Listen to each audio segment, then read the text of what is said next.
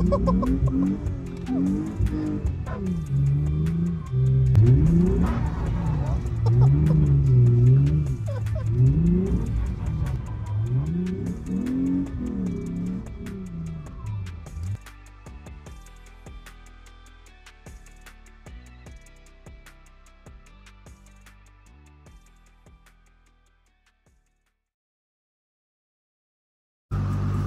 いですねサイズが。完成は最近ですか？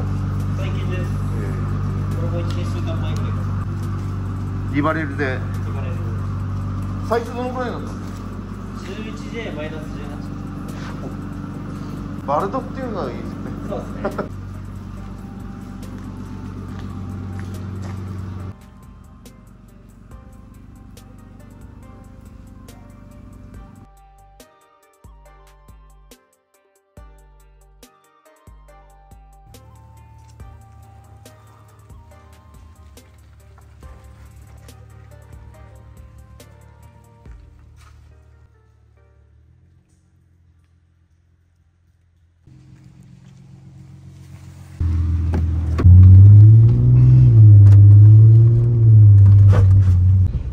現役のあれですよねドリフト。そうですね。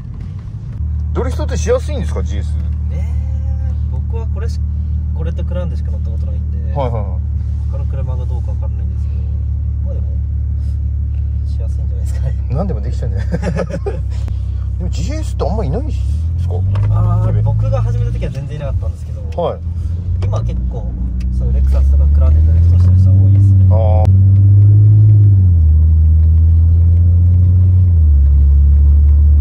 エンジンはノーマルですかエンジンノーマルですレフ LSD だけ組んで3.5リッター3.5リッターでパワー的にはもう十分ですそうですか315リッターこの 5, 5月あのドリドレっていうイベントあるんではいはい。これドリフトさせに行くんですよ。お5月にじゃあ、はい。イベント多いですね。名古屋のイベントにうん。レンツとこれを持ってって、はい。でその次の日なんですよ。あそうなんだ。でそのまま向こうああなるほで名古屋から滋賀で滋賀で最後ドリフトして帰ってきますどいやーすごいっすね。ドリフトのイベントっていうのは結構出るんですか台数的には？うん結構ダイソーいたんですなんかドリドレっていう有名な。毎年やってる感じです年やってます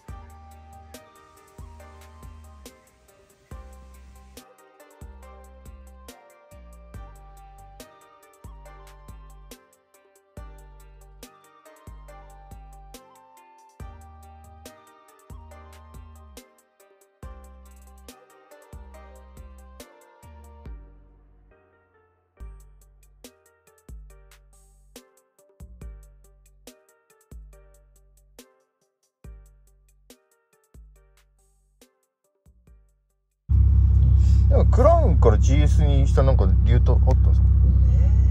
え特にない。ー特にないけどなんか乗りたかっただけです。この形が好きとかって感じですか？そうですね。なんかもともと好きじゃなかったんですけどうん。なんかキモいじゃないですか？ヘッドライトとか。なんかこのキモいのがいいなと思って。200系グラウンドと比べるとどうなんですか？あでもほぼ同じです。う同じですか？いつも履くタイヤとかって決まってるんですか？基本なんか ATR かピンソンのはいはい。はい